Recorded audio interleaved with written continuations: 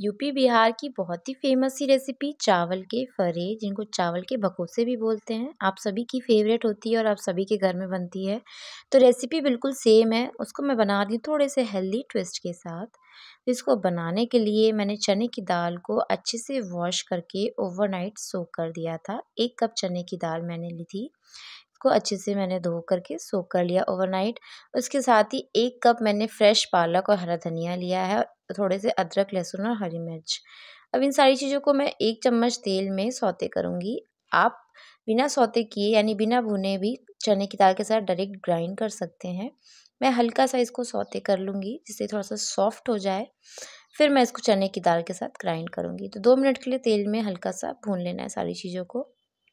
जब ये पालक और हरा धनिया बिल्कुल सॉफ्ट सा हो जाए इसको ठंडा करके चने की दाल के साथ ग्राइंडर जार में ऐड कर देंगे। चने की दाल में पानी बहुत ही हल्का होना चाहिए, वरना जो स्टफिंग हम बना रहे हैं वो बहुत ज़्यादा गीला सा हो जाएगा तो अच्छे से नहीं बन पाएँगे फरे हमारे।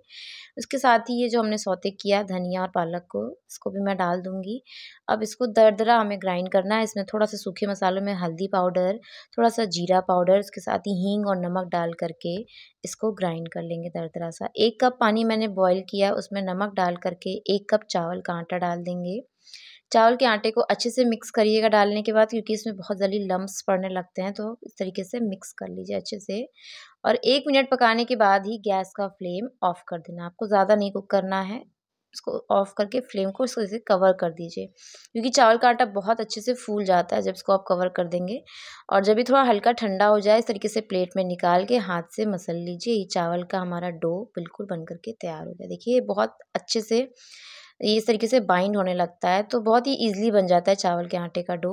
अब इस तरीके से छोटी छोटी लोइयाँ लेकर के थोड़ा सूखा आटा डस्ट करना है, इसको इस तरीके से बेल लेना है हल्के हाथों से।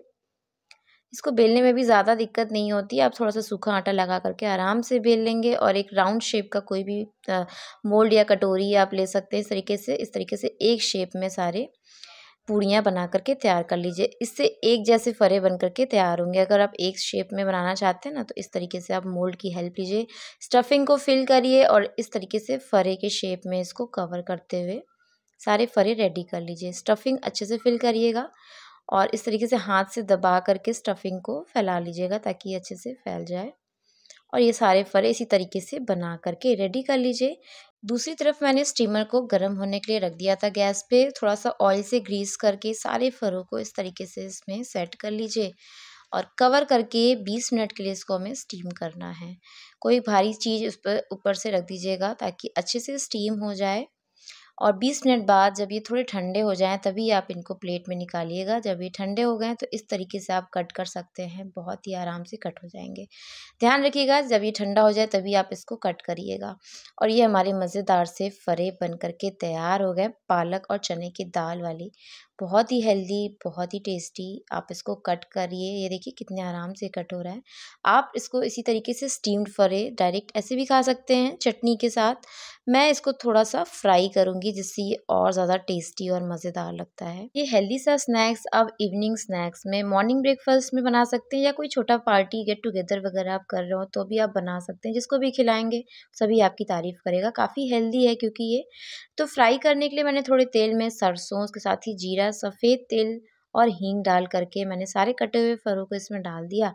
अब मैं इसको थोड़ा क्रिस्प होने तक फ्राई कर लूँगी। और फ्राई करने के बाद यकीन मानिए, ये फर इतने टेस्टी लगते हैं कि आप सारे खुद ही खा जाएँगे। बहुत ही टेस्टी।